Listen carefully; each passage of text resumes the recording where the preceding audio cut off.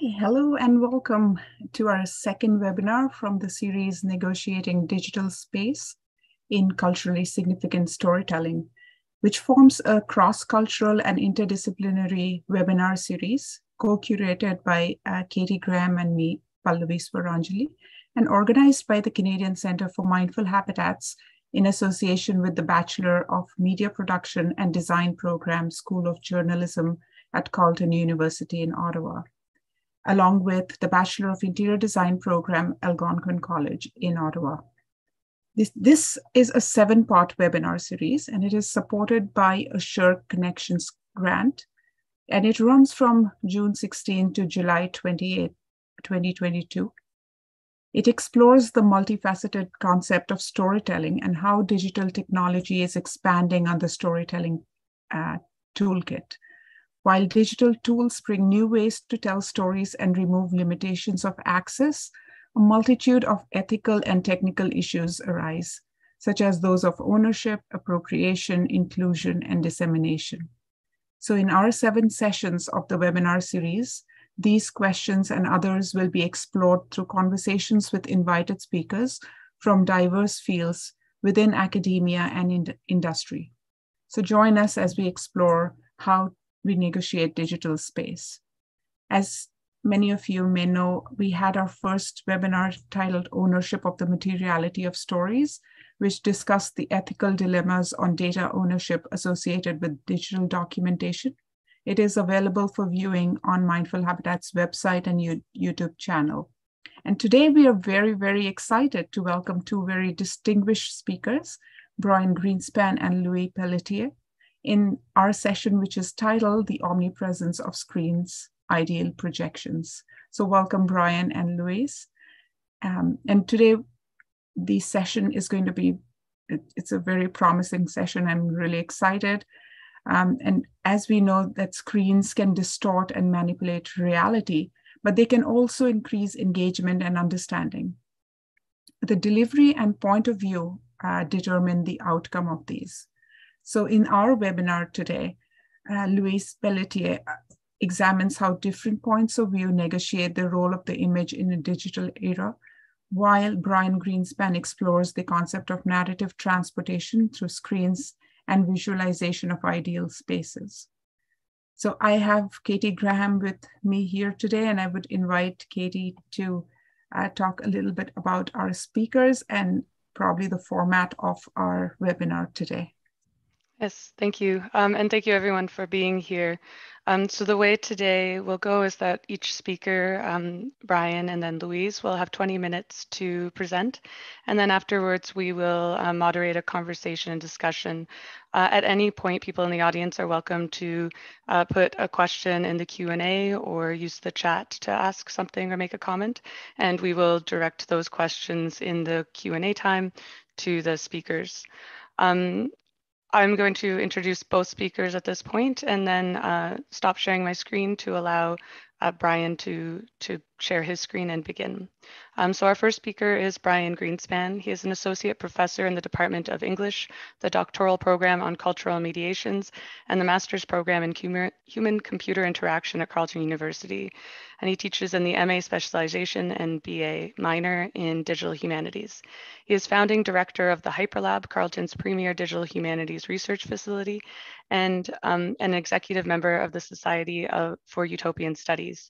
His scholarship focuses on spatial storytelling and the utopian dimensions of new media, including e-literature and XR media.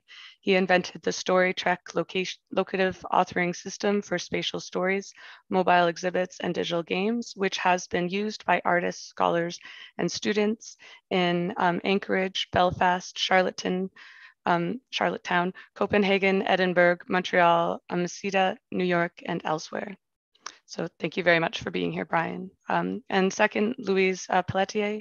Um, she's trained as an architect and received her PhD in the history and theory of architecture from McGill University in 2000. Uh, she has been teaching at the UQAM School of Design in Montreal since 2006, where she is also director of the UQAM Design Center.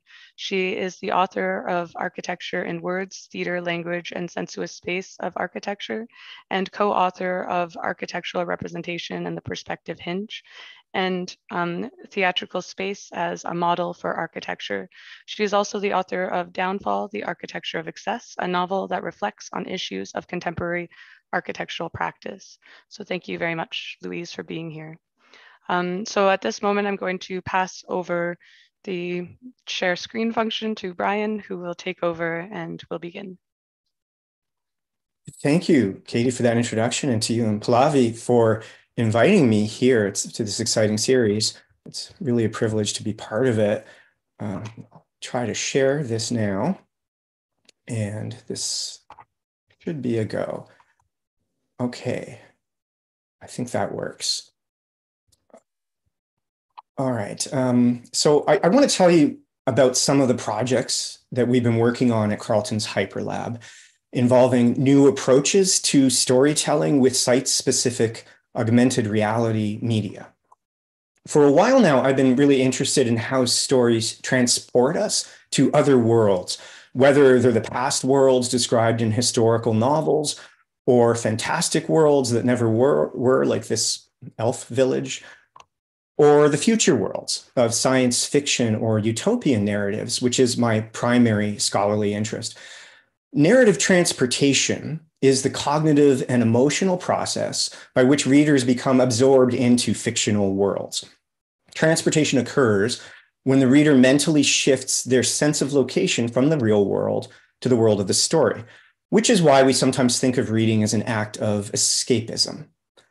Now, these worlds may be fictional, but the phenomenon of being transported to them is real.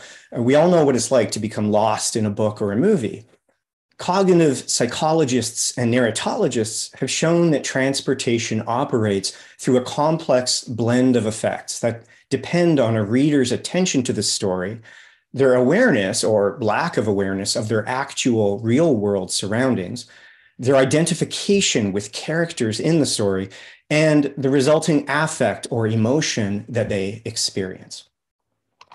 But narrative transportation is usually explained through analogy to physical travel. And experiments have shown that in order to be transported to a fictional world, to be truly immersed in it, a reader first has to enter its fictional space time and leave the real world behind. Which paradoxically is why narratives that transport us tend to be more convincing. There's empirical evidence that as we abandon our connection to the real world, we're more likely to accept what the story tells us. And if you're imagining yourself sitting in this comfy chair, uh, reading about a world of queens and knights, then you're already doubly transported, which also makes you more inclined to believe me, since studies also show that transporting an audience can help to convince and persuade them. We tend to empathize more with a story's characters and their values when we're immersed in their world which might explain how our capacity to be transported first evolved, assuming that empathy and social cohesion convey a survival advantage.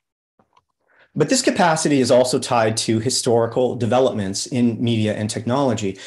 And I'm not talking about virtual reality headsets, but earlier technologies of mobility, such as the steam engine, the rise of railroads and the po- popularity of long cross country journeys in the 1800s sparked a demand for fat triple decker novels to pass the time while traveling.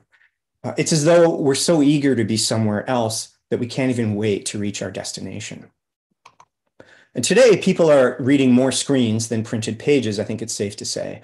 Uh, whether it's ebooks, emails, social media, or text messages, reading interfaces that accompany us wherever we go. The ubiquity and portability of mobile screens allows us to read everywhere all of the time. At the same time, mobile screens tend to reward continuously distracted attention, not deep immersion. Barring long train or air journeys, the increased mobility of reading interfaces offers fewer opportunities for deep, sustained reading, which hinders our transportation to fictional worlds. It doesn't help matters that our devices always know exactly where we are in the real world. Instead of helping us to get lost in other worlds, geolocative apps like Uber or Google Maps guide us to our favorite coffee shop or gas station with impressive precision, keeping us tied to the real world, which is framed as the space of commerce, not the space of dreams. All of which got me wondering how can we make mobile devices less distracting and more immersive? Can we combine locative wayfinding, the real world knowledge that you are here now, with the sense that you are now here in another unreal world? How can we use the screens we carry with us while navigating the real world to transport us into more inviting and ideal worlds, while also being attentive to our actual lived spatial environment? And this was the inspiration behind StoryTrek, a locative authoring system for site specific augmented reality storytelling, which I developed with a team at the Hyperlab. StoryTrek allows authors to create spatial stories that respond in real time to the user's physical movement through the world and ever changing geospatial context. You navigate our system by simply walking through an urban or natural environment with a mobile device in hand as the story tags along, changing its course depending on your location, route, and style of navigation. For instance, we've built site specific locative installations that tell the story of important cultural spaces. Working with uh, Canadian Heritage and a team of archivists and architects at Carleton, we created an open air museum that tells the history of the construction of Ottawa's Rideau Canal in situ. It includes a game as well, so kids can experience what it was like to be an immigrant worker building the canal. They go around collecting virtual pickaxes and supplies while avoiding malaria and dynamite explosions. It's great fun, and it's all based in historical fact and archival uh, imagery. But most of our stories are more imaginative and original. Uh, this was the very first StoryTrek, Crisis 22, written by Montreal artist Pippin Barr. Barr's surreal love story documents the inner turmoil and regrets of a solitary narrator as he wanders through a fictional landscape that changes depending on where you go and how you get there.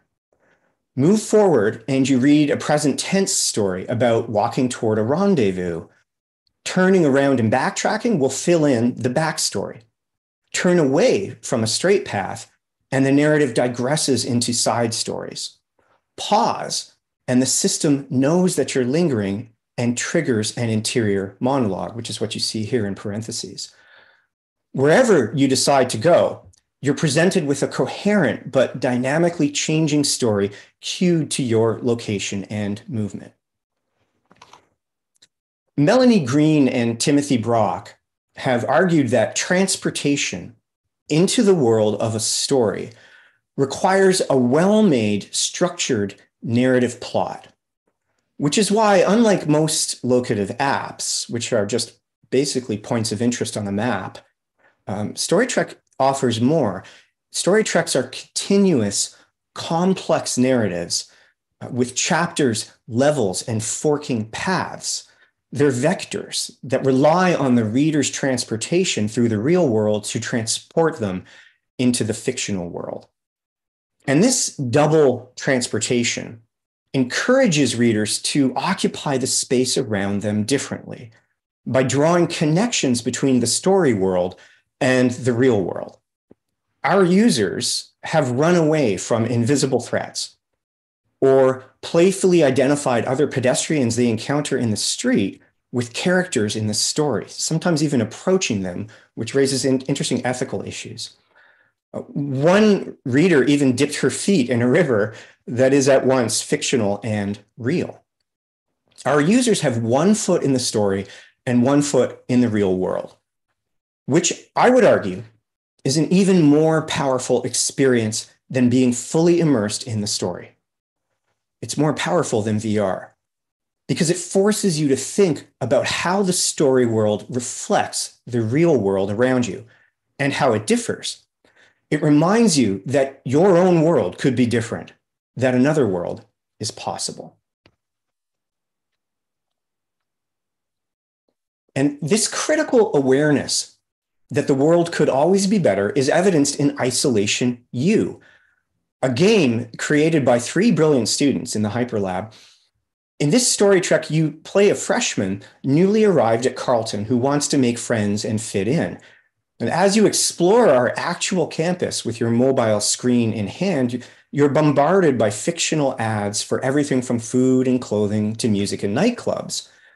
You also hear rumors of a conformity virus that spreads through texts and emails, turning students into zombies who all want to buy exactly the same products from campus vendors. The story cleverly pushes back against the corporatization of higher education and the growing tendency to treat students as customers and knowledge as a commodity. Now, these stories of ours never reached a large audience. Locative storytelling remains a niche medium for indie authors and artists, despite that location based apps have become an everyday technology. To gain a larger audience, we had to move off campus and into the wider world, where we could take some lessons from popular fictional genres, a journey that took us all the way to Edinburgh. We're working with colleagues from Queen's University Belfast and Orion Books. We tested Story Trek's ability to tell a coherent, linear story in a popular genre by adapting a best selling detective novel for mobile delivery. Ian Rankin's Set in Darkness is the 11th book in the world famous Inspector Rebus series, which has already been adapted uh, for radio and television by the BBC.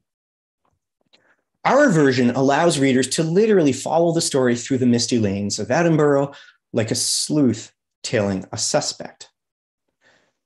Adapting Rankin's deceptively complex novel for a mobile screen was a real challenge uh, locative augmented reality doesn't readily lend itself to telling long stories with well made linear plots. Again, it's more about points of interest. You are here now, not where you've been and where you're going. Uh, but we had to be true to the story and make sure it got told in the right order without any missed cues or spoilers, all the while acknowledging that our users would be touring around the city freely and could leave the set story path at any time. It helps that Set in Darkness is a novel of place. The story foregrounds the old Gothic buildings that sit alongside new construction projects driven by the recent local boom in urban renewal and development. So many building sites, as the villain points out, with lots of good deep holes in which to bury bodies and secrets. It also helps that the novel relies on architectural landmarks to ground local history in contemporary issues like Scottish nationalism, class politics, and gentrification. For instance, arriving at Grassmarket in the old town triggers a present day photo of the street, along with a passage from the audiobook observing that they used to hold executions here and that it was a haven for the destitute right up until the 1970s when developers transformed it into a cute tourist spot which encourages our users, many of whom are tourists, to reflect on their own complicity in the city's ongoing gentrification. With our trek, you can't help but notice how much the city's changed even in the two decades since this novel was originally published. Uh, these changes to your material environment accentuate the story's Gothic aesthetic of decay, even as it adds access barriers. With so much ongoing construction, the day will come when some of the story's main sites of interest no longer exist, at which point our trek will become unreadable, itself a victim of the creative destructions of urban renewal. Having learned some lessons about adapting popular fiction uh, for, for mobile delivery, we journeyed on to southern Spain, the setting of Ernest Hemingway's last unfinished story, The Dangerous Summer, written in 1960. In this travel narrative, Hemingway recalls his final visit to Andalusia decades earlier. culminating in his account of a competitive bullfight in Malaga, which, which contest has been seen as an allegory of the Spanish Civil War or as an account of Hemingway's struggle with his literary rivals and his own aging self image. We spent January of 2020 retracing the author's steps, creating a trek that lets you play the part of a mature Hemingway as he strolls through the tiled streets and ancient parks, desperate to connect to his youthful memories of the city, all the while evading a, no- a nosy cub reporter, that's you, who's chasing Heming- Hemingway through Malaga in hopes of landing an interview with the famous author. It was also an experiment in guerrilla dissemination strategies to help build our audience. We brought along these magnetic, biodegradable 3D printed icons, which are an extruded image of Hemingway donning bull's horns, uh, and placed them in discrete locations around the streets of Malaga, Granada, and Madrid on the back of a hydro box, the underside of a tapas bar, or the wall of the historic farmers market. Each icon is georeferenced and on the reverse holds a QR code in relief. Snap a picture and it links to a website with instructions for accessing the mobile story. And it worked. People found our icons, uh, sometimes multiple times for the same icon, and they registered on our site for an access code to the story. That was in early 2020, right before Spain went into lockdown closing the streets to pedestrians and making our story unreadable. Meanwhile, Edinburgh's lockdown forced us to suspend the launch of our Set in Darkness adaptation. This experience has taught us some important lessons about how physical and digital spaces are connected. These projects all invite users to engage in new forms of mobile, embodied public storytelling at a moment in history that discourages just such behaviors. With real fatalities lurking in every corner and governments tracking the movements of their populations, our stories about zombie viruses, blood sports, neglected bodies, and clandestine surveillance suddenly appeared distasteful. It brought home that the very same places can hold different meanings in different times and that the spaces we occupy as embodied individuals are always connected to global contexts and events. That's also the lesson of my final example this morning. Move, a story trek created by Ottawa based artist and educator Zan Woods. It was inspired by Duncan Campbell Scott, the famous Canadian Confederation poet and infamous architect of the residential school system for Indigenous children. The installation begins when you receive a simulated call on your mobile inviting you to meet a friend downtown for coffee. As you set out to find your friend, your movements trigger jarring alarms and distorted audio cues that literally stop you in your tracks, discouraging any bodily movement at all in a way, it's an inversion of those strategies that commercial apps and websites use to nudge consumer behavior in particular directions so that we buy specific products. As the author explains, Move offers its users a restrictive experience where our knowledge, movement, and identity are radically limited, altered, and challenged by an embodied experience of immobility, unquote. The story forces critical reflection on the real world barriers to both actual and narrative transportation, barriers that aren't always so easily left behind. And this is where our stories, I feel, can achieve what conventional printed narratives can't. By not only foregrounding the fact that access and mobility have always been unevenly distributed, but also making that a part of the reader's lived embodied sensory experience.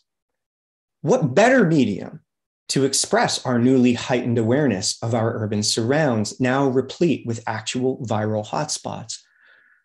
The atmosphere of paranoia that hovers over public spaces still only intensifies our mobile version of Ian Rankin's police procedural and resonates more deeply with the story of an aging Hemingway always looking over his shoulder. Augmented reality storytelling allows users to be transported to other worlds while remaining ever mindful of this one, allowing us to find the ideal in the everyday. It reminds us that we can't take our lived environments for granted and that we'll only ever reach a better world by keeping one foot in this world. And these are some of the amazing students and scholars who have helped to realize these various projects. So thanks very much for listening. I look forward to hearing what everyone thinks. Thank you very much, Brian. I have many questions and thoughts, but I'm going to hold off and wait. Um, and I'm going to pass over uh, the, the share the screen function to Louise. Thank you. Thank you so much, uh, Katie and Pallavi, for, for the invitation. Let me see if I can share my screen. So you see everything? Good. Um, so yes, thank you so much uh, to both of you for, for this very kind invitation. And, and thank you, Brian, for this fascinating presentation. Uh, I, I also have uh, many, uh, many questions, but mostly the desire to experiment some of the uh, some of these uh, immersive uh, narrative that you spoke about. Uh, very fascinating. Um, the when uh, when Katie and Pallavi first invited me uh, to uh, give a talk as part of this um, lecture series, um, there were many questions that were put forward as potential um, uh, basis of discussion, and, and one in particular, um, they, they ask, uh, can the digital create a parallel space for storytelling, and what impact does it have on the role of the author, narrator and reader, storyteller, story keeper? Um, and to me, this is a very fundamental question, especially in uh, the contemporary uh, context. Um, and, um, and in order to uh, attempt even a fragmentary answer to this complex question, um, I, I will start from the premise that uh, exhibition curating uh, is a form of storytelling. Um, as Katie mentioned, uh, I'm, I'm, currently the director of the Design Center, which is a, a gallery, um, design and architecture gallery in Montreal.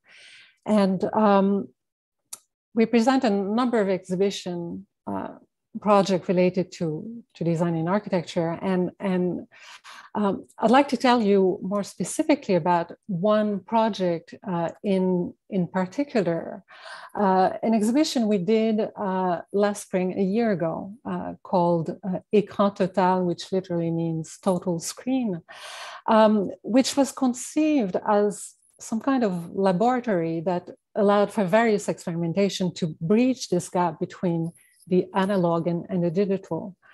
Um, the exhibition uh, developed over a number of years, uh, happened to uh, be scheduled for a moment uh, we hadn't ex expected, you know, the, the lockdown of uh, the pandemic.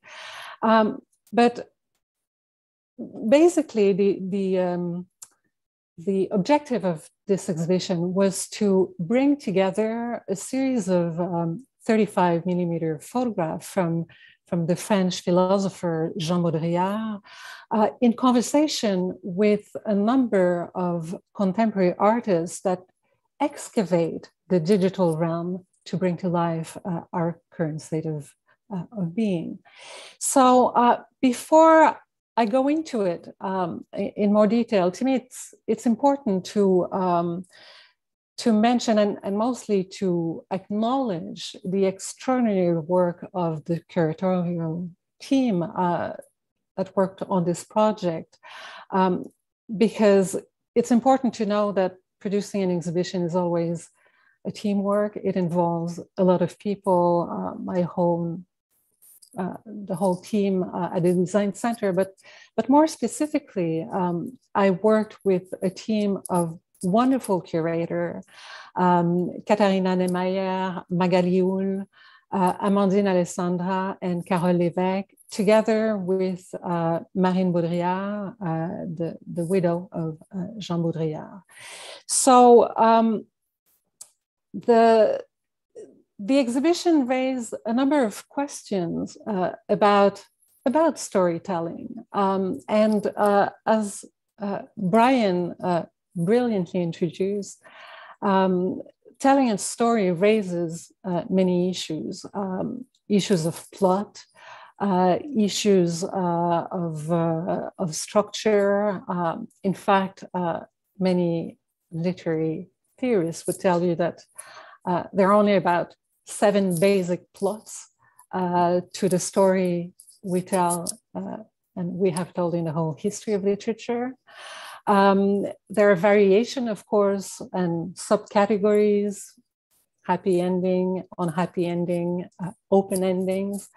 Um, other will tell you that it's all about uh, the characterization how one identifies to the characters, uh, is drawn into the stories, uh, is either entertained by the events or profoundly transformed by them. And, and of course, uh, the, the question of the, the projection in this fictional space, which I found very fascinating uh, in, in Brian's presentation. But beyond um, all these questions, uh, about you know some formalization of storytelling uh, is the effectiveness in which with which the author will convey seemingly authentic emotions. And that's where storytelling for me has the potential to transform transcend its medium to convey a coherent plot. The main plot uh, or story I intend to, to tell you today um, is that during the pandemic, the computer screen became the all powerful point of view uh, that mediated our understanding of the situation and has affected the manner in which we interact with one another, and by extension, uh, the way we construct our stories. So, um, in in 1976, uh, Baudrillard famously said that there's no separation any longer, no empty space, no absence. Um, you enter the screen and the visual image unhindered. Um, you enter your life as you would walk onto a, street, a screen. You slip on your own life like a data suit. Um, as some of you may know, uh, Baudrillard uh, wrote extensively on uh, the, the contemporary condition, uh, you know, from, from the 1980s, 90s. And, but already a few decades ago, he predicted this omnipresence of screens that we face today in our everyday life. Uh, his diagnosis already prefigured this culture of hyperreality, where the screen is the interface for virality, simulation, surveillance, and implosion. So uh, the exhibition Total Screen uh, brought together the work of uh, the French philosopher in conversation with um, some really great artists, uh, from all over the world, from uh, Adam Basanta, Mishka Ener, uh, Vassem Bati, and Penelope Umbrico, uh, but also some emerging artists like Charlie Doyon, Clint Enns, and uh, Wan Ji. Um, I wish I could tell you about uh, all these uh, very intriguing projects, uh, but uh, given the limited time, I've chosen to, to focus my talk today on um, three of these projects that uh, address uh, three distinct point of view uh, on the contemporary image. So um, first, uh, the unseen presence in, in, the work of Penelope Umbrico. The emotional projection in the work of Mishkainer and Razembati, and the third one uh, will address the objective gaze of technology uh, in the work of Adam Basanta.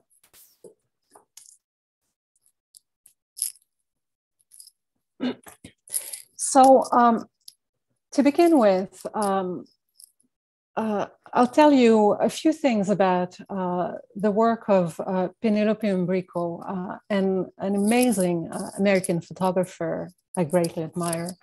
Um, in her work, she raises some fundamental questions about the role of the author um, as, as photographer. And um, in many of her uh, of her work, she replaces the role of the author by that of the narrator.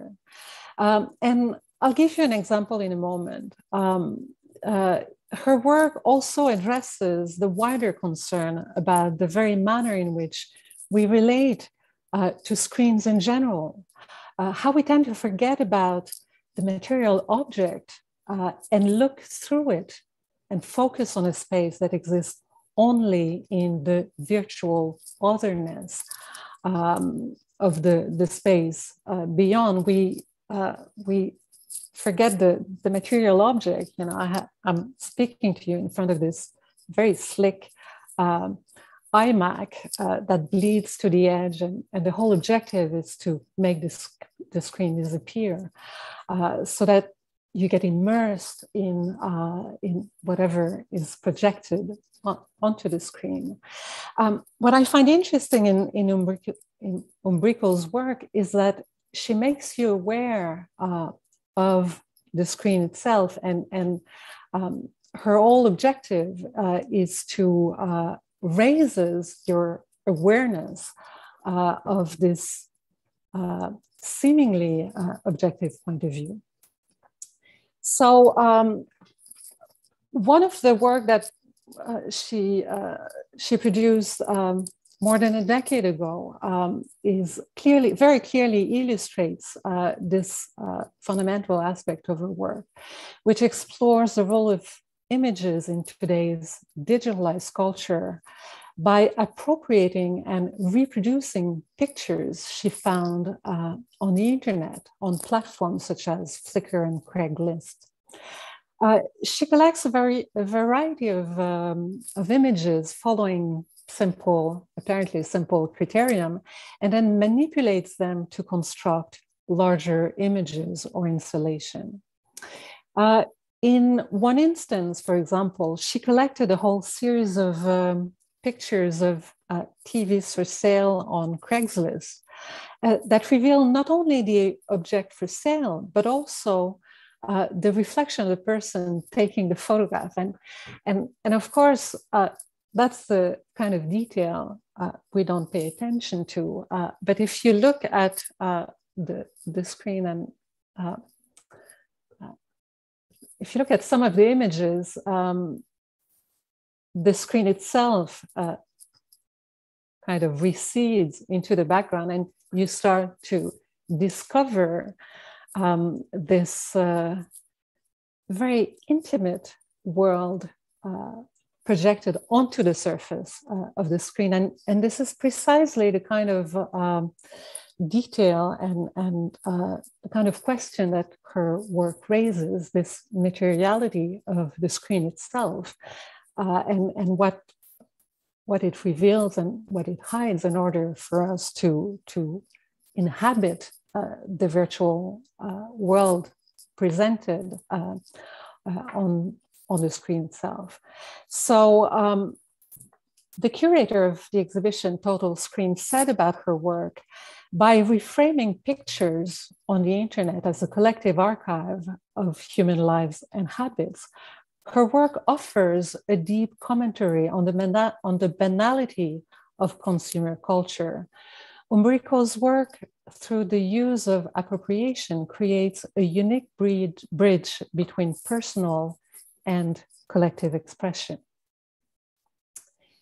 The piece that she presented uh, at the Design Center last year was developed as part of a series called Broken Screen Out of Order uh, series, a work that focuses again on the materiality of the screen itself, uh, but more specifically on the error signal uh, that one gets uh, when the screen itself is broken.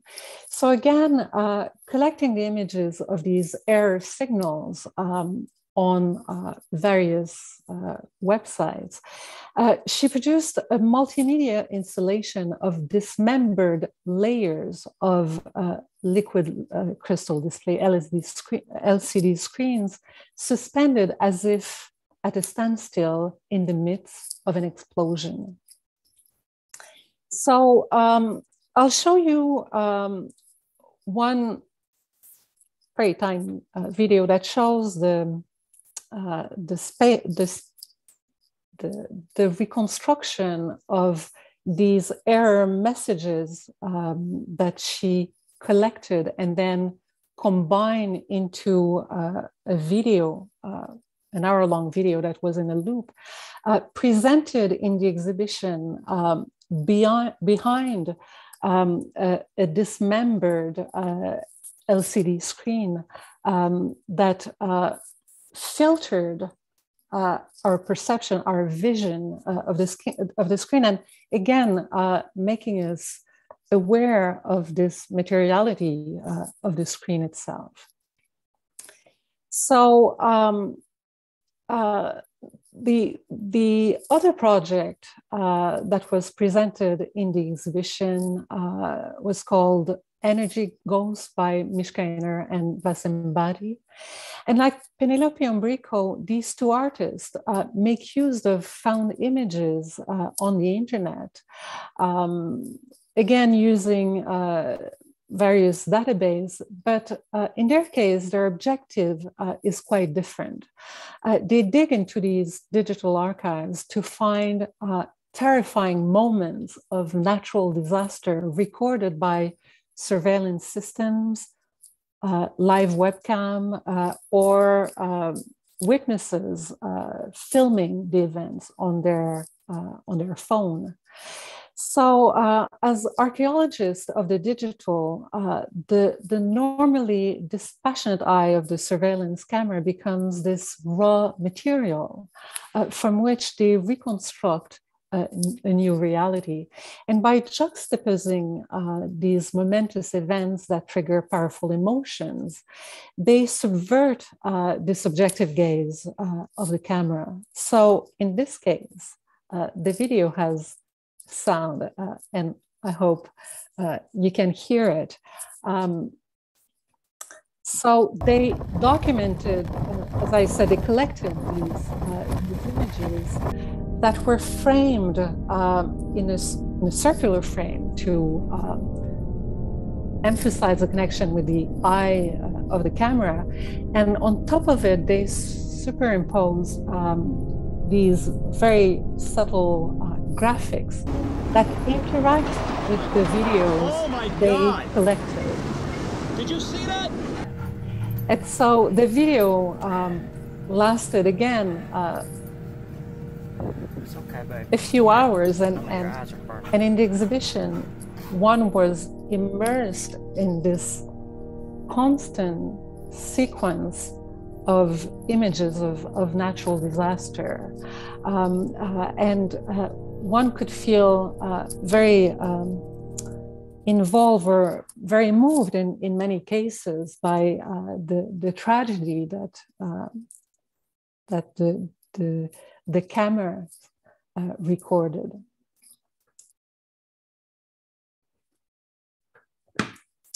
So um, the, the third and final projects that uh, I want to show you is called All We Ever Need is One Another Trio.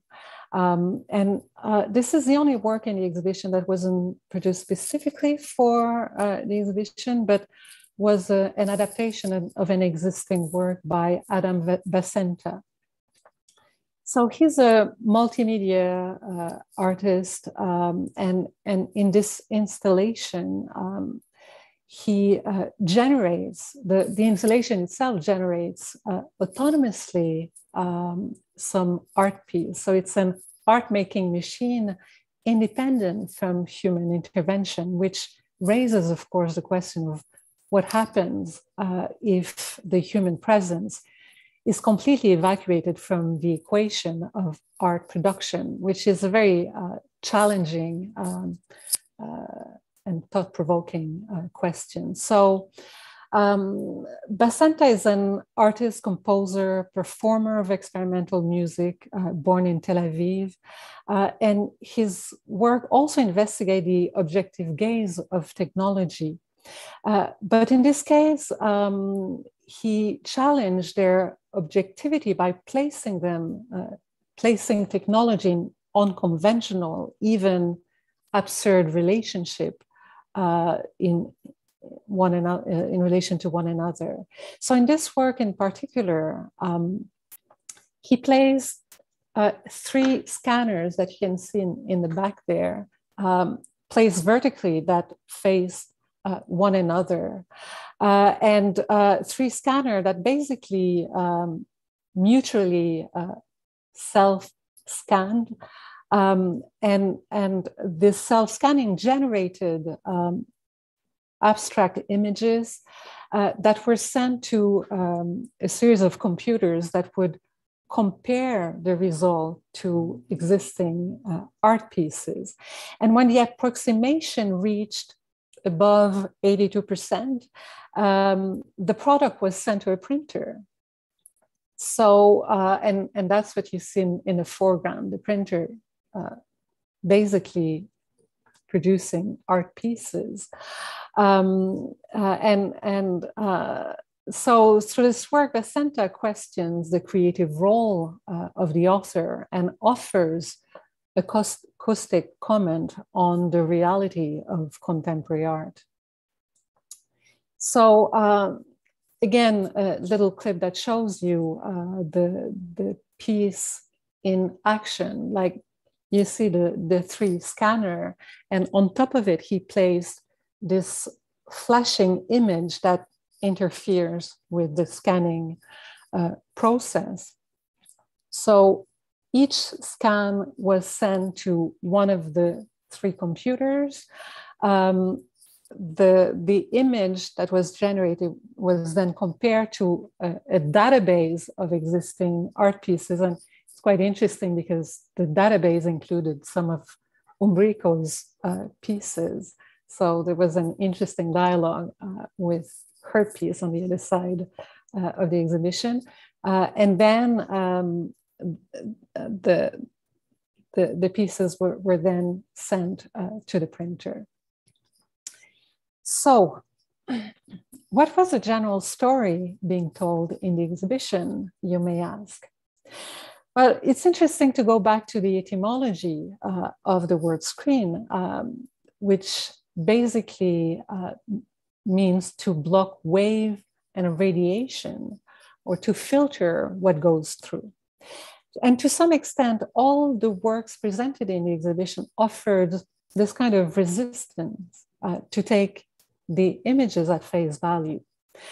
Similarly, in the exhibition, we experimented with this back and forth between uh, the, the digital image and the real presence, um, questioning the status of the screen as a mediating tool. So, as I mentioned uh, in the beginning, the exhibition happened uh, a year ago, halfway through the two years uh, pandemic uh, that we've experienced. And um, right in the middle, middle of a lockdown in Montreal. Um, and, um, and until about a week and a half, two weeks before the opening, uh, we didn't even know if um, the public would be allowed in the exhibition room because everything was closed, as you may remember. Uh, so the whole exhibition became um, a kind of laboratory, as I, as I mentioned, because we uh, experimented with different forms of uh, mediation precisely to uh, respond uh, to the condition that we experienced at that point.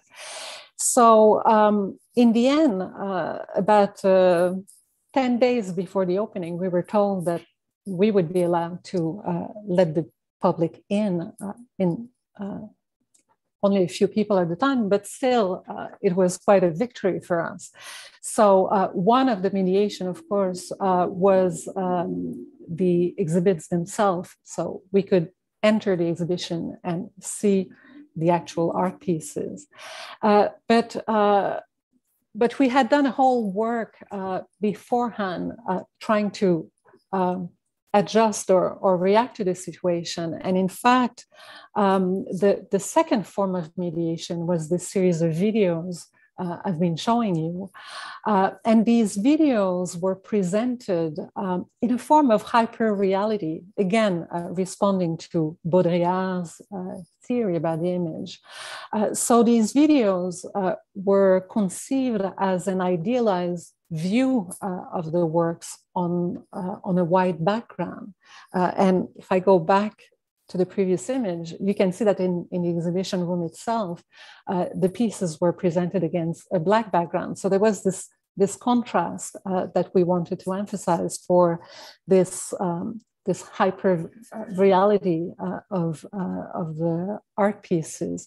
And those videos uh, were presented um, uh, to be seen from the outside because uh, again we uh, we assume that uh, very few people would be able to enter the exhibition room.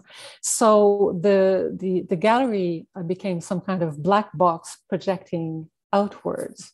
Um, and and so the exhibit the exhibited pieces revealed in such a way exacerbated their absent presence by proxy uh, in a way. Uh, the third form of mediation was a website created specifically for the exhibition that offered um, distinct entry uh, into the works. Uh, and by the very nature of the, the, the, the importance given to the digital in this exhibition uh, allowed us allowed the exhibition to be included in the virtual pavilion of the Venice Biennale uh, Architecture Biennale last uh, year, which paradoxically uh, gave the project uh, an exposure we never anticipated. So in the end, uh, the whole dilemma we faced turned out to be quite a positive experience in the end. So sorry, I I think I went a little over time. no, thank you, Louise and Brian. I think both presentations were very fascinating, and we were uh, not looking at the time. It was so fascinating. Time just went by. Um, so thank you both for very, very enlightening presentations and lots of questions that come to everyone's mind. I'm pretty sure um, I've been taking notes, but I would like to invite both of you to talk about maybe we'll start with uh, Louise and uh, about some comments about Brian's presentations, and then we can go to Brian uh, about comments for Louise's presentation and what were some thoughts that were crossing your mind. Um, I, I must say, I, I found uh, Brian's work uh, very fascinating, and uh, I um, I wish you know I could experience some of them. Uh, there, there's a there's a whole tradition uh, ever since the situationist to mm-hmm. play uh, with this interaction between between an idea we have of a place and the place itself. Um, and um, and um, I mean, it's uh, I don't know if it's a if it's a question, uh, but um, uh, the uh, in in your experimentation. Uh, I was curious to know uh, how you document the experience of the, the viewers or the, the people experimenting, uh, experiencing, I should say, uh, your, your storytelling.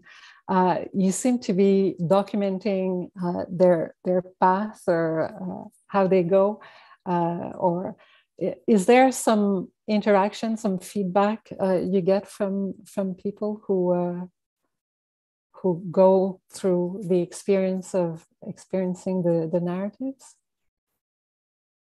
Yeah, yeah. So um, it's a, it's a, it's a great question, Louise, um, because it was one that we struggled with over the years as we were developing the system.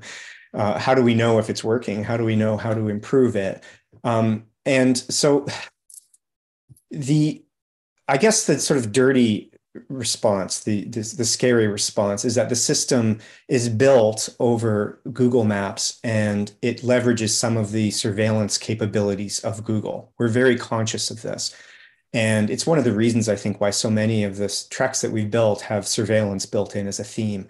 But our system does actually have the capacity to track to some extent at a, at a fairly high level um, where users, particular users, go uh, how long they spend there and how far they get in a particular narrative. Um, the we can look at the at the GPS data that we receive in more fine detail too, but we usually don't because it's it's um, it's difficult. Really, though, the best feedback that we've had is when we go along with um, test users, when we accompany them uh, on a track through, uh, and it's it's it's interesting. I mean, it's a good idea anyway to have someone along with you because you you do tend to get immersed and transported at various points into the story, and it's easy to walk in, you know, into an open manhole or step in front of a bus. So we always have disclaimers that you know, please work in groups and have somebody spotting for you if you're in an if you're in an urban environment. But we also learn a lot because um, what happens is we get you know verbal feedback from people. We we figure out when they're stuck when they're confused when they're overjoyed or excited when they move faster or slower and we can document all of this and take notes. And this is one of the ways that we've we've got some really valuable feedback over over what's working. Um, I'm, I'm cognizant of the fact too that because we're there and the users know we're there they at times tend to um, perform for us. When Celine dipped her foot in the river in that early test, for instance, um, she she knew what she was doing. She was playing with the story a bit. Uh, locative apps were still fairly new then, so to some extent she was testing the limits of the system technically, but to another extent she was having fun. She was performing. It was an embodied performance, and you know, I thought, well, maybe maybe if we weren't here, they wouldn't perform quite that way. But I don't think that's true because I think that what happens very quickly when you're using one of these treks if you're on a story trek, you realize that you are performing in public. Other people notice that you're navigating space differently. You're not you're not moving the way they are. You're not uh, directed towards the same goal. And people tend to look at you curiously. Sometimes they smile or laugh. They try to figure out what's going on. Um, so you're already, in a sense, aware. You have to be aware that you're performing, that you're set apart from the crowd. And I've always been really interested in that and how, although this is reading is typically thought of as a solitary medium, unlike say drama, uh, nevertheless, this reading this way does generate an audience. And I'm always curious about how that works, that dynamic works as the individual user of a story track in relation to the people around them as an unwitting audience. And again, there are ethical considerations here, but it's also it's also a pretty i think one of the reasons why a lot of our stories end up having to um, virtually put a kind of a, a mob presence in them a crowd presence you know sometimes they emerge as zombie hordes or that are chasing you but um, crowds seem to crop up a lot in when our authors create these stories that was a long-winded answer i know but but story yeah. no but it, it's very interesting um, uh, the the when one reads a story or one inhabits the world of the story um, the the reader becomes active in a way, you know, because the author can only do so much. You put the, the story out there, but in the end, uh, I think in a in a good story, the the reader becomes an active participant.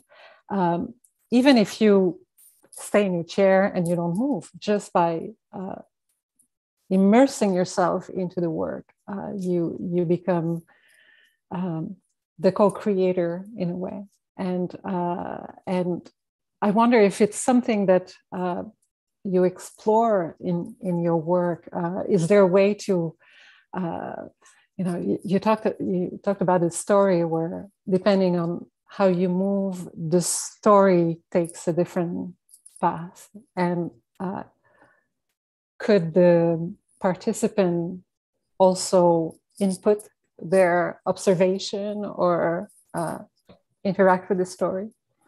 Is that something that you ever played with? so it's it's sort of desiderata. We, we've thought about a lot of features we'd like to add. We're constantly adding features to the system. And one of them is the ability for an individual user, end user, to become a co-author, to input data or start writing in the story, as you say, and turn it into what we sometimes call a constructive hypertext. Uh, and, and, this is you know one of the long-standing debates in hypertext and hypermedia theory the extent to which someone who is uh, reading, say, a screen-based, a web-based, um, or um, uh, uh, I, will say a screen-based hypertext that, that allows you to choose your own adventure, the extent to which simply click, choosing which links to click and which uh, screens or lexia to read next constitutes an active co-creation of the story. That's a that's a big debate. I, I think it is. We, we see different kinds of co-creation though, even without allowing our users yet the ability to write into um, the story, they do anyway um, because they're constantly drawing connections between the real world around them that they're moving through and the story they're reading about. And this is sort of natural, I think. I mean, there's a there's a, a theory by Marie-Laure Ryan of the principle of minimal departure, she calls it. And this theory is that when we read a book, the reason that we can read a story and get immersed in the story world is because we assume that the world of the story and the characters is not that far different from our own. So if I start telling you about a, a story set in, in, in, Montreal, you're going to assume it's the Montreal that, that exists in your own real world and not a Montreal on another planet. You're going to assume that the grass is green and the sky is blue most of the time and that they have gravity. I don't have to tell you those things. Unless I say it's a science fiction narrative and I say the sky was was full of smog, there were no stars, then you would know, oh, it's a dystopian narrative and it departs from the real world. But unless I explicitly say that, you're going to draw connections, you're going to draw information about the story world from your own experience of the real world. What we witness is that our users are constantly drawing on things they see around them in their environment and putting them into the story and using that to flesh out the story. And sometimes it creates these really wild effects um, one of the stories, for instance, was set on uh, on the bike path along the canal. And you know, at one point, a user was reading, and it said a, a cyclist passes you on the canal at, at, the very moment that a bike passed them. Now, it was predictable that this would happen. The author was counting on it, but it still, for that user, created this really uncanny feeling that the system knew exactly what was around them and where they were, and was and was watching them. So it's this weird involution where you're reading, watching the characters in the story, but maybe the narrator is watching you as well. This mise en abîme, as it were. Mm-hmm.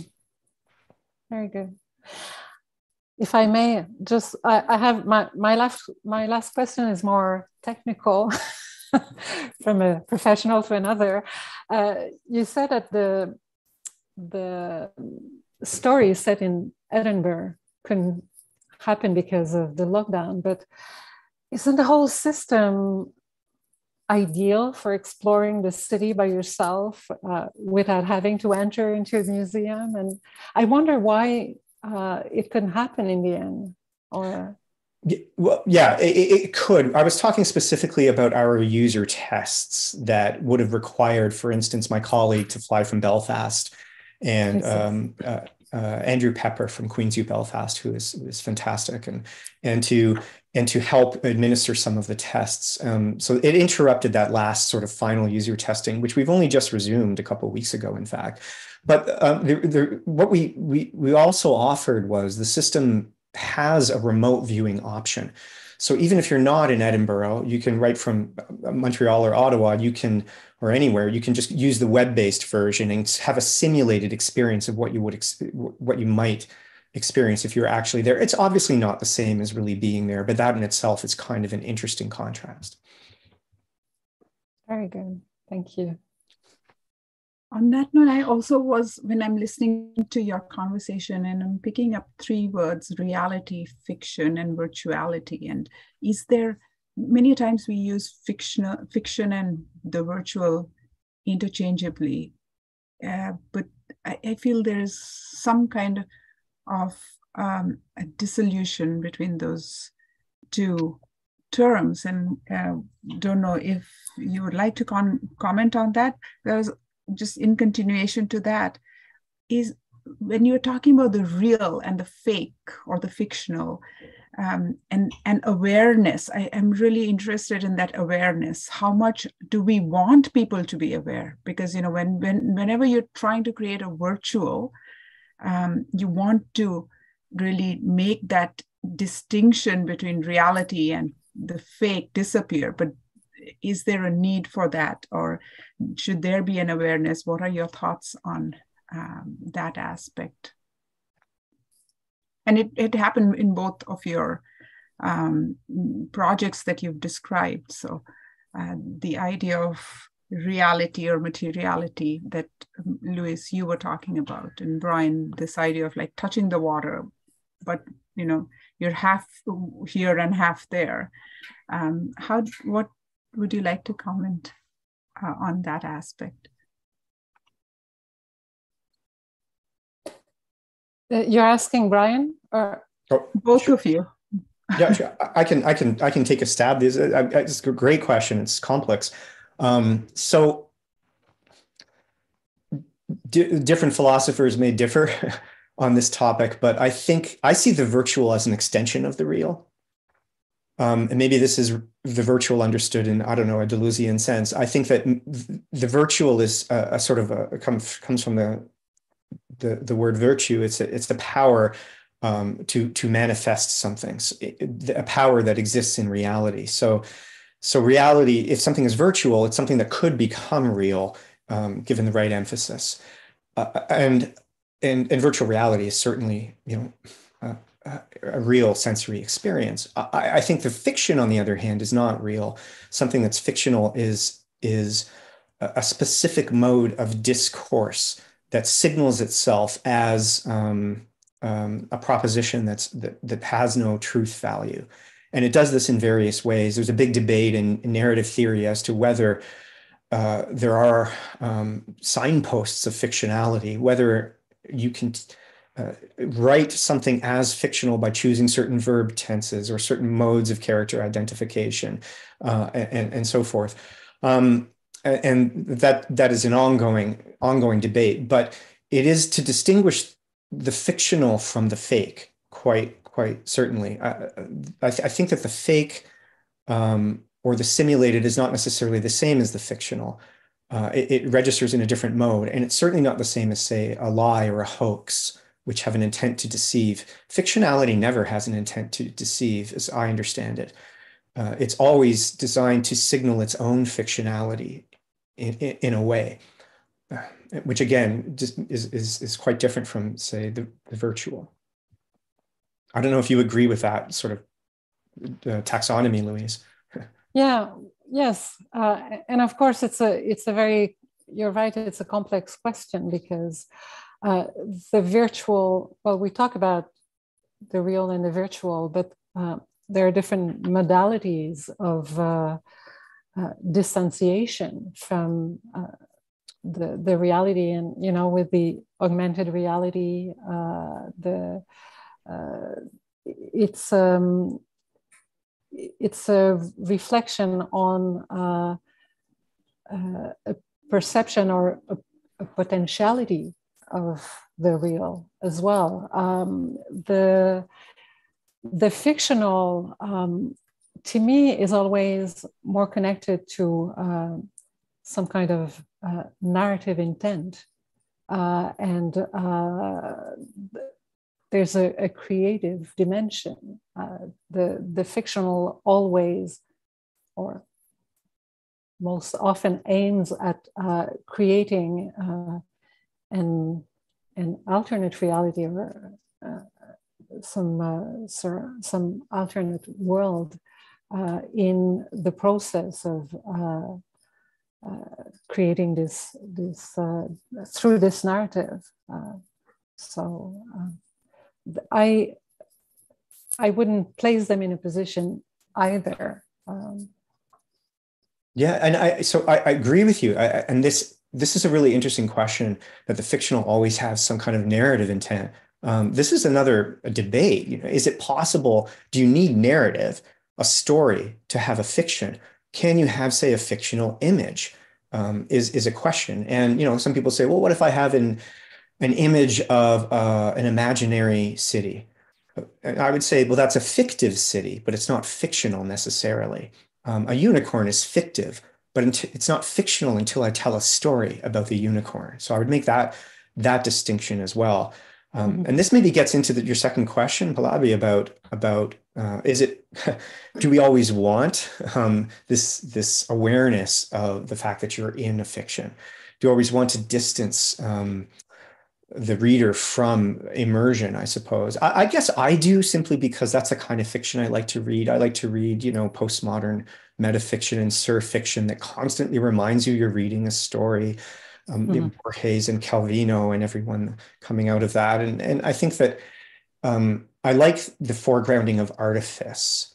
Uh, I also think it's possible, there have been recent studies, um, uh, Alice Bell and Astrid Ensslin and others, um, about the, the impossibility of any real immersion, the idea that the idea of being totally transported to a fictional world is an overstatement, that we're always sort of uh, pushed into the fictional world, but then popped out again as well by various factors.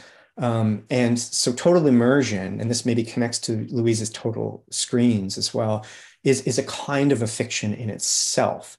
Um, and so if, if in a sense, we're constantly, we can't be fully absorbed in the fiction of the artifice if we're constantly negotiating, you know, the, the uh, apparatus of reading, the situation of reading, even if it's just a paper book that you're holding in an armchair, constantly reminded of that, then maybe the most realistic fiction, the most realistic story I can tell is one that acknowledges that, draws attention to it, and doesn't try to ignore it, right? Um, but uh, that said, I, I, also think that because uh, maybe because I study utopian fiction, I'm uh, very interested in this idea of science fictional estrangement. I'm very interested in worlds that don't make you comfortable, that don't bring you in, that foreground the distance between um, your world and their world, um, show you what's different, and that seems strange to you, at least until you get used to it. And the idea there is that ultimately, you may be estranged from the fictional world at first, but ultimately, once you get used to it, you realize, hey, this is a better place this is a more ideal world. This is utopia. Why is my own world so lousy? And then the estrangement reflects back on reality. And then you start to see your own world as kind of strange and arbitrary, full of arbitrary conventions that, that don't have to be this way. And again, uh, this, this gets back to that mantra uh, I mentioned of this is the utopian mantra that a, another world is possible. So I, I think maybe, maybe reminding people that not uh, uh, well maybe uh, reminding them of the apparatus of the story itself is a form of estrangement and and can raise critical awareness i hope mm. Mm. yeah that that's interesting because well in in the three um, art pieces uh, i i described i think that that was um, in a way the objective of each one of them you know, to make us aware of the materiality of the screen, something that we uh, we forget. You know, we take for granted that we inhabit a similar space because the four of us uh, are presented on the screen with the same background. Um, but uh, but clearly, um, certainly for for Penelope Umbrico, uh, becoming aware uh, of the nature of the screen, this meta narrative in a way, um, is uh, is very much present in in her work in general, uh, and and certainly in that piece, um, and uh, and of course uh, I I presented um, some art pieces rather than uh, narrative based work because that's also closely connected to the work I, I do these days. Uh, but um, but yes, uh, creating uh, this uh, moment of uh, suspended reality where you're willing to accept uh, whatever the author wants to tell you or whichever path he wants to take you through is is a sign of great fiction you know uh, because uh, we're willing to accept virtually anything from uh, from the author when when the the characters are compelling and and the, the story is relevant yeah, yeah, that's exactly it. And this is where the ethics come into it. I mean, some of these ideas of sort of narrative transportation and immersion are being you know, hot, very closely studied by by marketers, for instance, because they realize this. And one of the theories is, you know, why is transportation to the world of the story so important? Why do advertisers want to take you into this world, even if it's in a brief commercial? And and one of the theories is that it takes so much mental effort to construct a, a mental model, a conceptual model of the imaginary world that you're in, which you're, you're, you're being told what's in the world, especially if it's written in language, you're being told what's in the world, who's there, where, how they're related, where they're moving. And you have to keep all of this together and put together these spatio-temporal models. Um, it takes so much cognitive overhead to do that, that you sacrifice some of your critical awareness in order to do it um, your own critical you, you, just don't have enough mental energy left to be cr- fully critical so we tend to believe what's going on in the story. And again that can be really powerful if you're an artist trying to tell an, a story but but it also can be dangerous depending on what kind of story you're trying to tell. Um, I'm uh, sorry, I'm just going to interject here because I want to make sure we cover some of the questions in the chat. And one of them I feel relates um, a lot to what you're already talking about. So I'm going to go out of order and say the last question, um, which is from Sojung, which is um, it's for both of you. And I wonder if you find tensions between immersive engagement and critical awareness in digital virtual storytelling, or do you think virtual immersion could elicit another level of awareness about real? Hmm.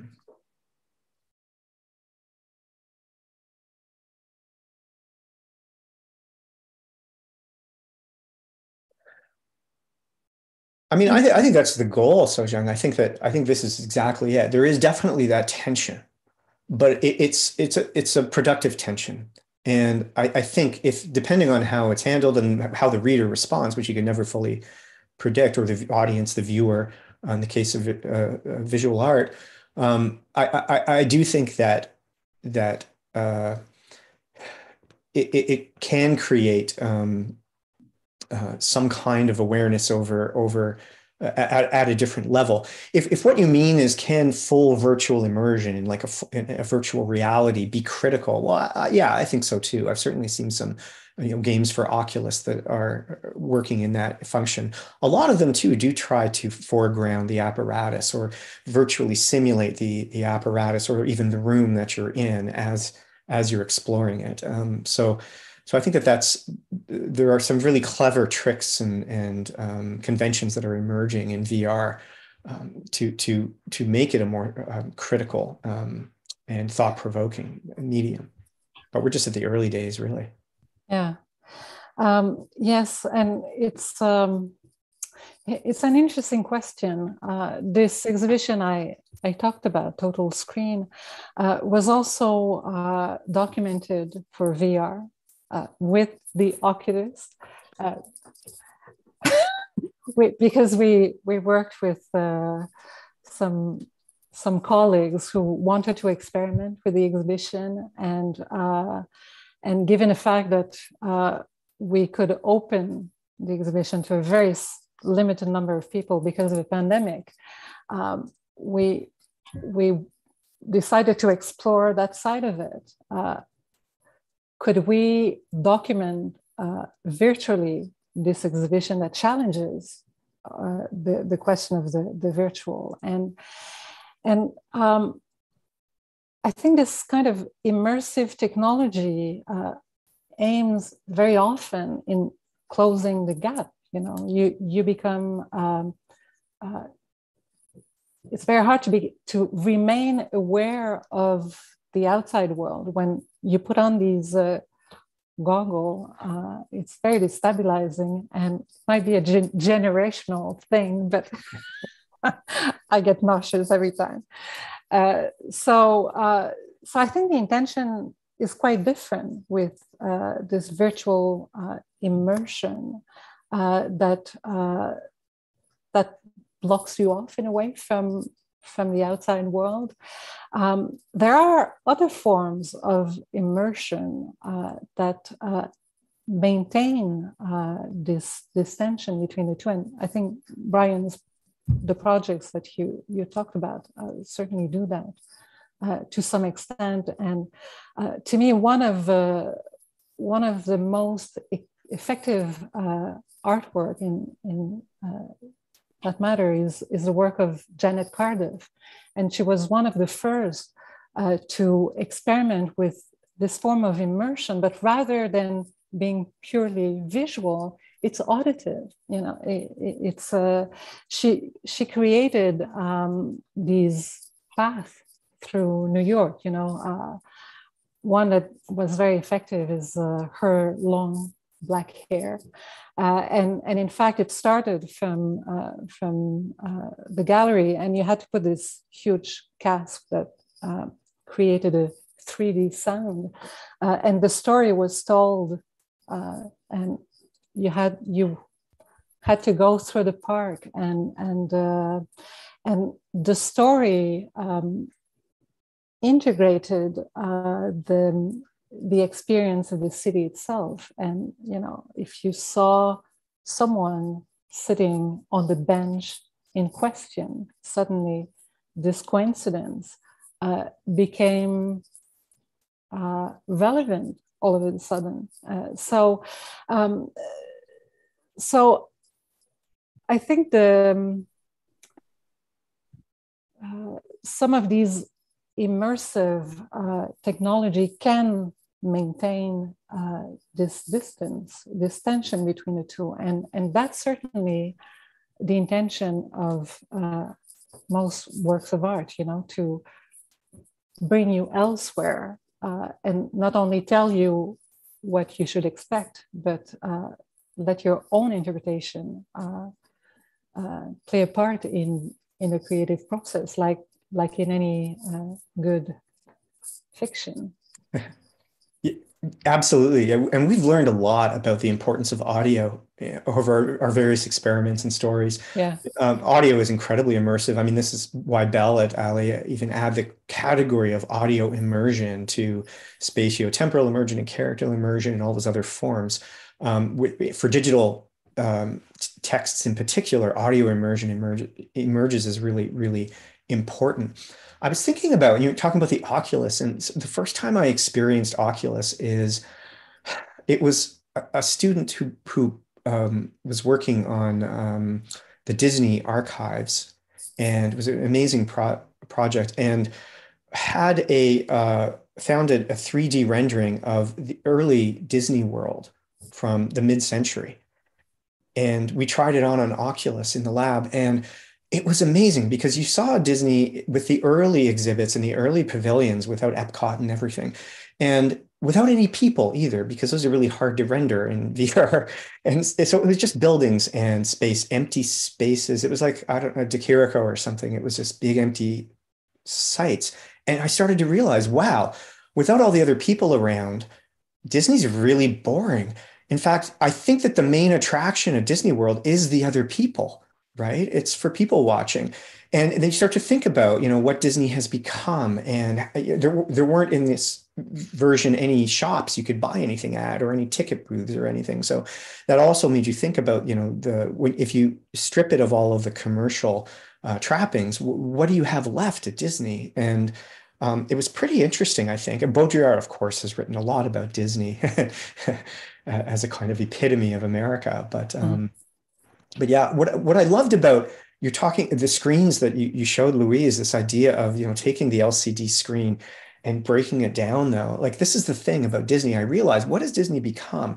And what if we took it back? We did an archaeology of that. And I love that these artists are doing these media archaeologies of, of the screen itself and showing the screen in its material composition and in its various layers of screens um, that it has. And that to me is really important because that kind of that kind of archaeology takes you back and it reminds you that you know this we're always on this constant upgrade path where we have to get the next best iphone and we have to get the next best computer and the next oculus and so on and this this archaeology i think by by just disrupting looking really hard at, at the technology we already have realizing that we don't even understand fully how it works and how well it works and taking us back, I think it disrupts that upgrade path and that constant compulsion toward technological progress. I think that that's a really valuable message of, of some of the pieces that you showed. Yeah. Yeah. And in the same exhibition, uh, there were other pieces um, that, uh, well, many of the artists are very fascinated with this moment of transition. You know, in 2004, when Flickr suddenly became the platform on which you could put all your photographs, sometimes very intimate stuff. Uh, and uh, there was this absence of awareness of the others and the gaze of the others. And, and so there are all these artists now uh, exploring this digital archive of personal moment. Uh, and uh, and indeed, I, I, think that's one of the big challenges with technology. We uh, we get involved, we get excited by by the new toy, uh, and we sometimes forget the implication uh, of of the technology and, and where all this information that we upload uh, on the net might end up one day. I love that idea of using social media as the subject of your art. and putting one more layer of representation on it. It's brilliant. It reminded me uh, some years back, we invited a California artist called Jenny Odell up to give a talk and she, she did these fantastic um, it was a it was a art book at the time which was a tour that she took of america and showing all the different spots as she rode you know route 66 and drove around to different sites and but it, it, she didn't actually go anywhere. She just used images from google maps and kind of photoshopped her image in the rearview mirror of her car over top of it so it looked or herself standing you know at the edge of the grand canyon and so on and it was it was really amazing because she talked knowledgeably about all the sites she went to how much night it was for a room and you know which roads were better and so on. But that was all just taken from the data on um, tripadvisor and, and and so forth. And she also acknowledged this gets back to this question about Sojung's question about you know critical awareness and and immersion. She she acknowledged that she was faking it at, at, various points. It was really obvious that she wasn't actually there. So it was a really interesting sort of donning the mask and and and, and embodying this sort of um, fully immersively embodying the story world, and then distancing herself from it at the same time. Um, mm-hmm. But but I love that idea that there's so much of an archive out there. Yeah.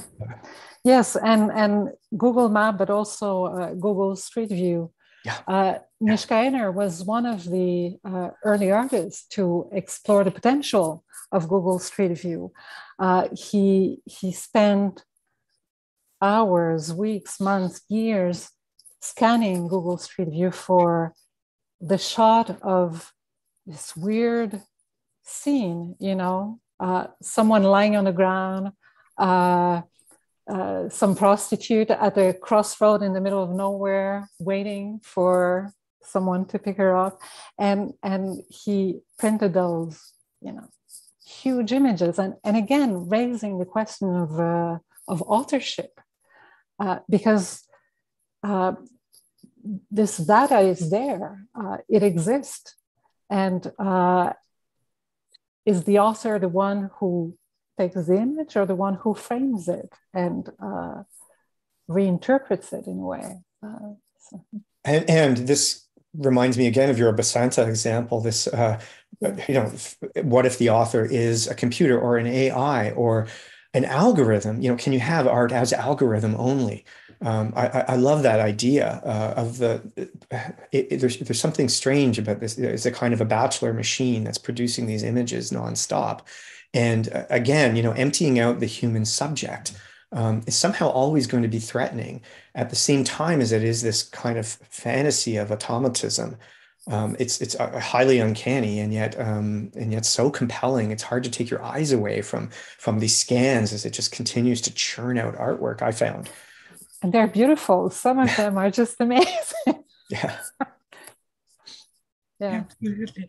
And I think there are a few questions that we are getting in the chat, if you can uh, see those. So um, I'll, it, some of them are in line with what we are talking about. So I'll take them as they've come in. Uh, and we have a question from Elora Berman, and she asks, uh, Brian, if it is possible to create or upload stories from other languages in StoryTrek. Uh, sure. The the text authoring interface that we use um, uses uh, a Unicode version. So um, it does allow for international character sets, not every international character set. Um, so some languages it would allow, um, but we also, because we allow rich media assets, such as audiovisual, you can record something in, uh, in, in any language and upload that. Uh, and that would be triggered when somebody enters the proper zone, for instance. And once they do, of course, they could, you know, that could leave other zones to be discovered, or it could um, level the person up to an entirely new playing field with different zones, um, depending on what they triggered. So this is how you can construct various story paths and and reward certain behaviors and discourage others. Thank you, Brian. Um, and we do have Claudio Scarbi here. Claudio, thank you for being here and uh, um, he's got some fascinating comments and questions in the chat, which I'll read it out to you. And he says it's easy to take for granted that the screen is there and the subject is separated from it. What happens when the boundary between the screen and the subject is broken? The condition of breaking the fourth wall. I have in mind, for example, the Truman Show and the contemporary technological advancement in virtual eyes, not just virtual glasses. Mm-hmm. And I, am just going to read uh, a couple of other things that he's written, or do you want me to go one by one? Claudio's ideas are always very, very complex. And so, okay, let me read the rest of it. And he says, very interesting, the idea suggested by Lewis of creating a screening as, sorry, of screening as violation. I think about Vesalius' necessity of dead victims in order to violate the boundary between the self and the gaze. Are, are we learning to think the sight as a screen in the same way as we learned to think about viewing as perspectival constructs?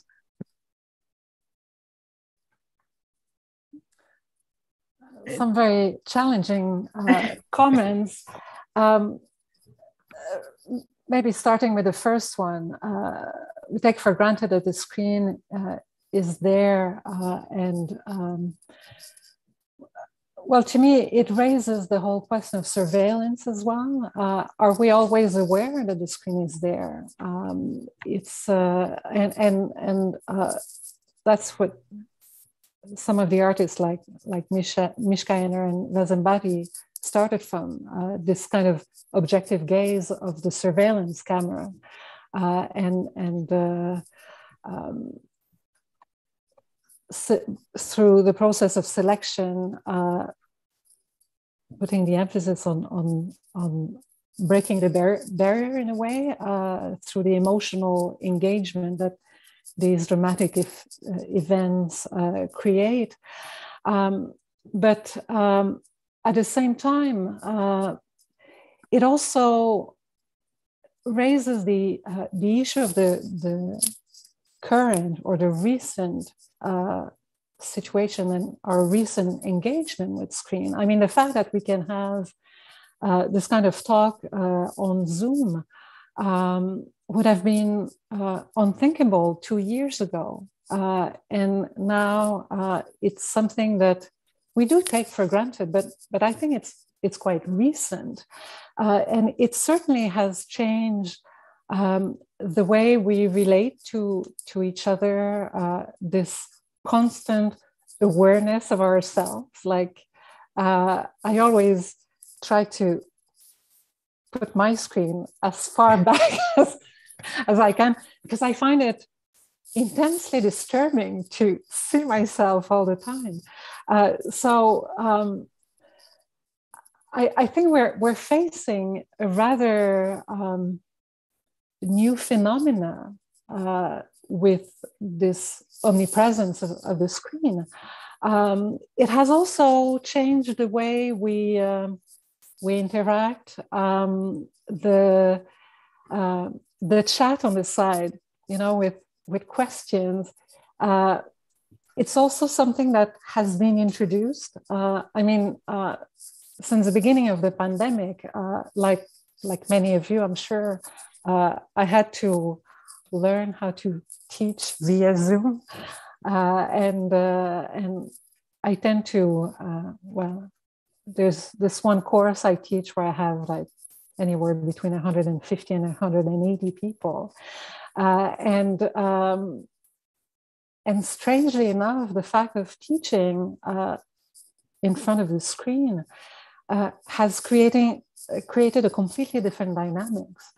Um, very few students are comfortable raising their hands in a class of 180 students. Uh, but with the chat, uh, it became something else uh, altogether and uh, something that was surprising. You know, I uh, I discovered the the power of this parallel discourse uh, in on the side. So um, it's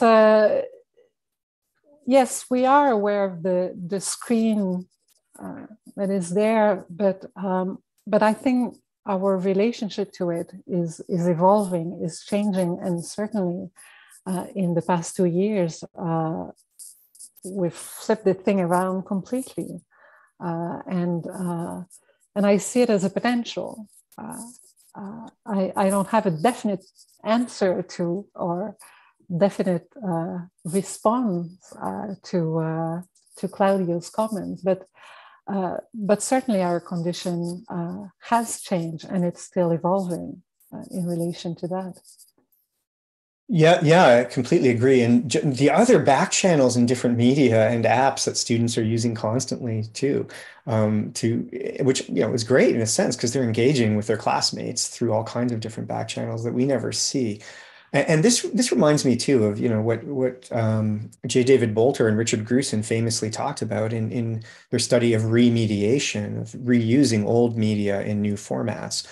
And they say if you think about something like a news channel to your average news channel on television today, and what you see is you see you know the the newscaster speaking, but then you also see an image of um, what's going on in real time from their camera and then you have the chyron running across the screen with updates of something, uh, maybe a stock ticker below that, and maybe um, an ad for what's coming on next on the news channel will pop up in the corner, right? So there's constantly not just one screen, but multiple screens being from multiple different media, be sometimes analog media too, being remediated in the form of this one presentation. And the paradox is that in multiplying the screens in this way, the goal is to create a sense of immediacy, um, not of hypermediacy. So the goal is to somehow make you feel like you're there in the action happening while it's happening in real time. But it's only through hypermediation that this is achieved. And, and this is why I'm not sure that we're gaining a lot more screen media literacy. In, in, in some ways, we are, but in other ways, I'm not sure that we're we really see the screens as somehow more artificial. Um, I, I, think that in some ways we're just we become used to these screens and we expect to see them and we almost see them as a kind of a transparent view in many ways which is the why the the art that, that you showed louise is so important to remind us that that's not it. Um, as for the, the question of the virtual eyes I, I, guess you know when i think about this are we getting better at this? I, I don't know. Um, Isabel Pedersen from the UOIT has done uh, some studies of these these virtual augmented reality contact lenses that they're building now, um, and uh, which is like I guess Oculus, but or maybe StoryTrek, but without without the heavy apparatus. And she she shows that you know really the expectations for these technologies that well it's all driven by anticipations in popular media, in um, tech magazines, in um, comic books and science fiction that have been going on for years. So the technologies that we get and the way we see and use those technologies have already been shaped by fictional representations for many, many years before we even see the technologies realized. And I think for that reason, I, I don't know that we're necessarily getting better. Again, I, I would push back against that narrative of progress. And I would say that that possibly we're, we're just getting locked into more ideological expectations that surround these technologies, um, which is why it's constantly you know necessary to break these screens apart, as Louise has shown us, and to and to show us the constituent parts and to show us when they break down, when technology fails is, is really important to show. And that's something the marketers will never show you. I just wanted to um, interrupt and, and read the last question that's in the chat to make sure that we have time to cover them all. Um, and this one's by Giovanni. Um, and it's um, the discourse as narrative as one hold on, I'm going to start that over. The discourse's narrative as one which can be enriched by digital technologies is generative. It allows us to be transported to other worlds and new stories. But what about those other stories, that is, those that are nested within our own narratives?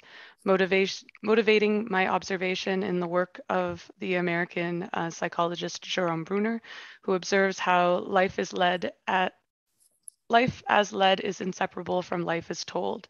How can personal stories, which follow Bruner as key to meaning making, be enriched or translated or transformed through the virtual or the terrain of the screen? Alternatively, in, is the crossing onto the terrain of the frame, even when human presence is eliminated, as in the scanner project, a paradoxal one. This is that is, it inspires towards the expression of personal narrative, which is not present but emergent. Um, so I think another uh, question to and, and, statement that really makes you have to think maybe on a response. But um, uh, Louise, do you have a, an immediate thought to that? Well, uh, uh again, it, it's a very complex uh, question, but if I understand it well, um, the the objective of uh, some of the works I showed, and certainly uh, the work by Basanta with the, the scanner and the printer, um, is, uh, is designed to challenge our preconception and um, to show the, the ultimate um, consequence of um, uh, mechanization in a way or uh, removing the individual from from the process to show us uh, the a work of art produced without uh, the uh, the intervention of an, an author where the personal story uh, gets in, involved or, or, or incorporated is through um, our own reaction to it. Uh, because it's a very uh, it's a many of these works that we presented are very challenging uh, in uh, their very intention you know to make us aware of either the presence of screen the materiality of screen or the the, the place of the author the creator in the process. Uh, and um, and by showing us some extreme conclusion to a certain process, um, we as a spectator, as a, uh, we we react to it, uh, and and uh, we can take a position in relation to that, uh, and and I think that it's it's in that way that the the personal story is incorporated in a way. Um, so um, I guess in in in terms of uh, of the fictional world, um, the the personal story also uh, becomes involved in the way one interprets a story because, as I mentioned earlier, the the author gives us some kind of a framework of a story, uh, uh, fleshes out some, some characters, but in the end, uh, we will relate to them in different ways depending on uh, our personal story. So, um, so I, I don't know if it answers the question, but it's uh, an approximation of an answer, maybe. Yeah, I would pick up on that. I would say absolutely. I think that character identification, as you have said, is really, really important for stimulating a, a reader response, and which is going to be different for everyone, of course. Um, the, the most popular texts, this is your popular cultural theorists say the most popular texts are those that offer all kinds of different character identifications. Um, for people from from different subject identities will be able to to uh, identify with different characters depending we, they're all constrained by the same system the fact that we all live you know within um, uh, late capitalism for instance um, that's what that's what makes popular texts popular though the idea that we can find somebody who um, somehow navigates this world we live in and identify with their struggles. And it may not always be the protagonist of the story either. It could be a side character a minor character um, that you want to champion. Uh, as as this question of emergent um, um, uh, identity and, and, meaning, Giovanni, I think is really important. Because I, I, know for for our story treks at least, the meaning is always emergent. The story doesn't exist until you start moving, and you have to move around. And again, as I've as I've said, you have to find. Uh, or I, I don't know if you have to, but I, th- I don't think readers can help but find um, significance in their own real environment that somehow speaks to, reflects, or um, accentuates the meaning within the represented story. That's going to be different for everybody. Everyone's going to move a little bit differently, take a different path. Everyone's going to notice different things in their real world at different times. So the text is never even exactly the same in the stories that we give.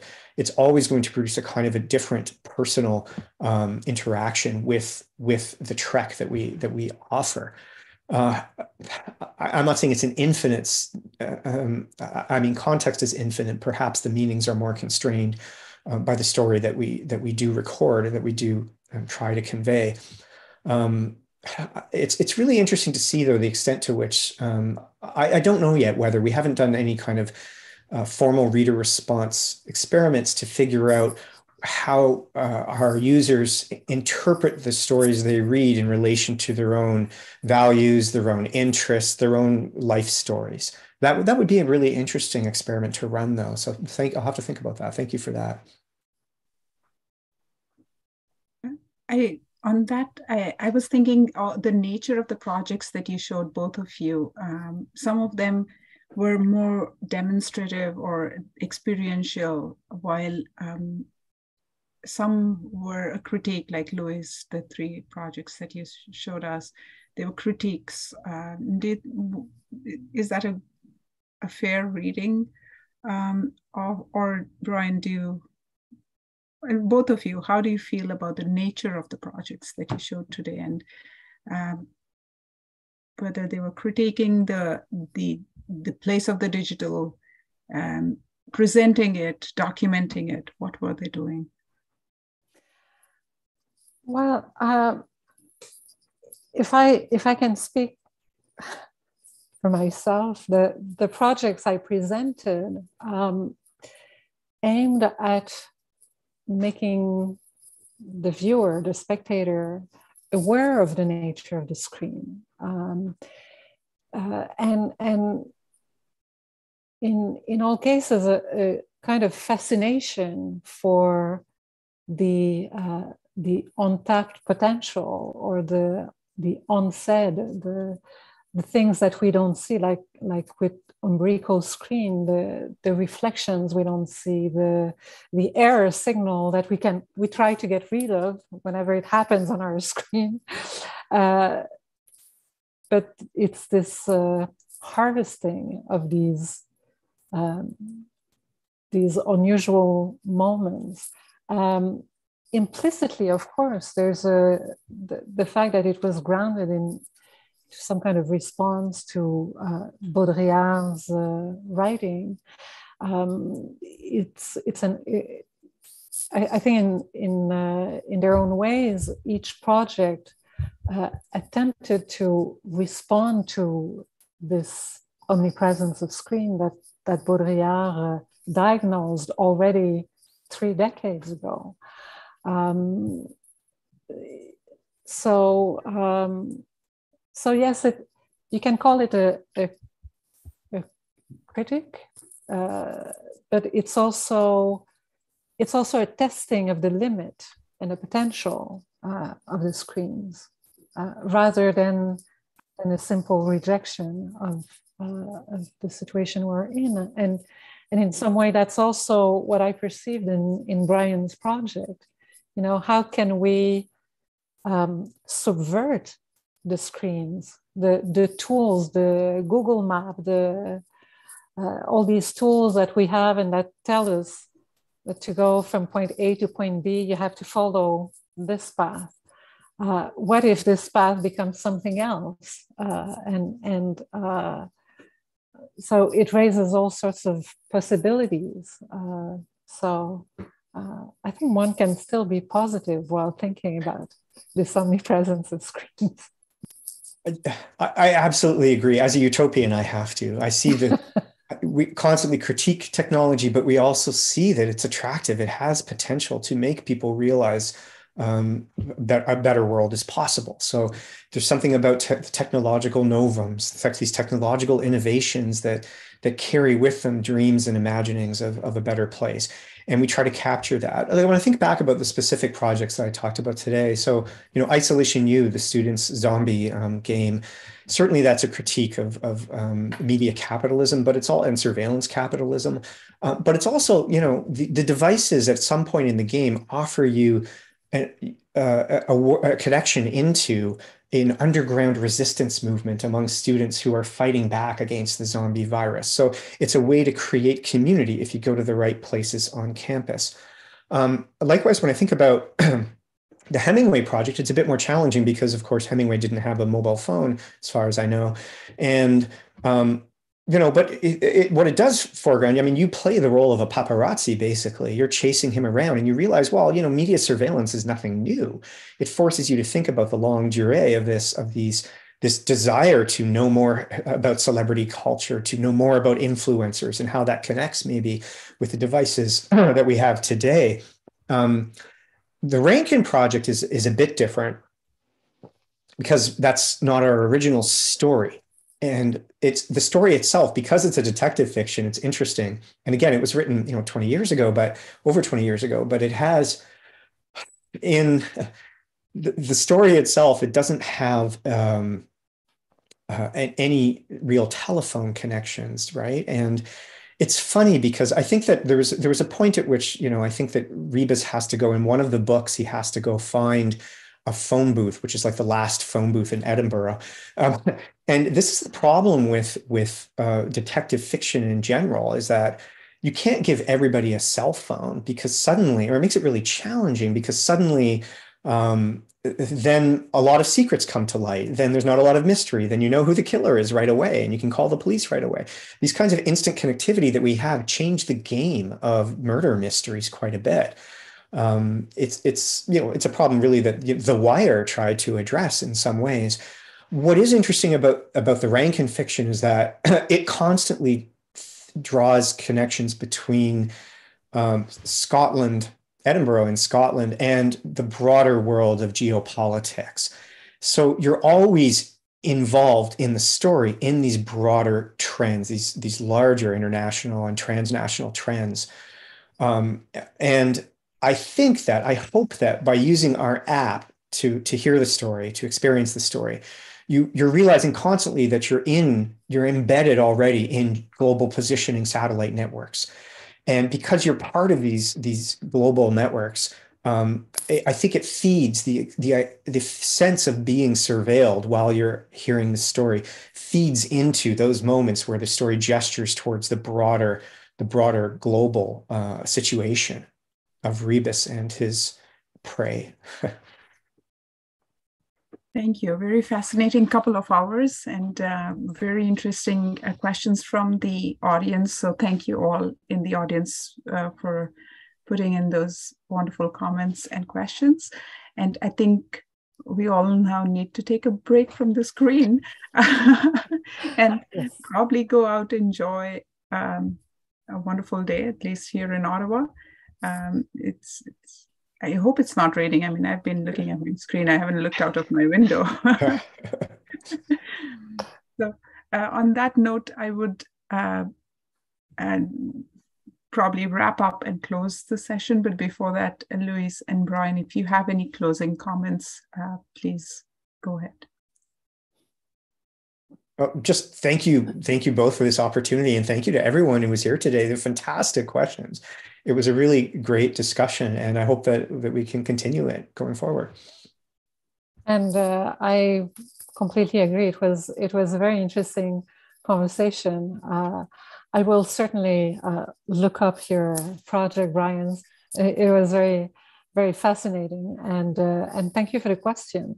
Uh, it's uh, it was some of them challenging, but very important question. Thank you. And I just wanted to also remind that we'll be coming back. We are taking a break for Canada Day uh, this week, so we won't be back next week with a webinar. No, no we are back next week. Isn't it on July 7th? That's next week. Oh, sorry. Okay. yeah, okay. Uh, July 7th, uh, we, we'll meet again. Uh, the title of our next webinar is Absences and Pluralities of Stories with mm. Mark Nuvu and Zoe Todd in conversation. So please log in uh, for that one, and uh, we'll hope to uh, further this conversation. But also, thank you, Louise and Brian. Yes, uh, thank you. Our our video will be available on our YouTube channel, so um, for later viewing, and we also hope to uh, put together a journal publication in in the future. So we'll be in uh, touch with both of you regarding that. Yes. Thank you. Do you want to say something? Um, I mean, it just echoes the same thing. Thank you very much. It's been a very, um, very thoughtful conversations, and um, I have multiple sticky notes filled with notes and information, um, and uh, it was really great to have you here. So thank you, and I look forward to hearing more later. So have a great rest of your day. Thank you. Okay. Bye now. Thank you. Bye.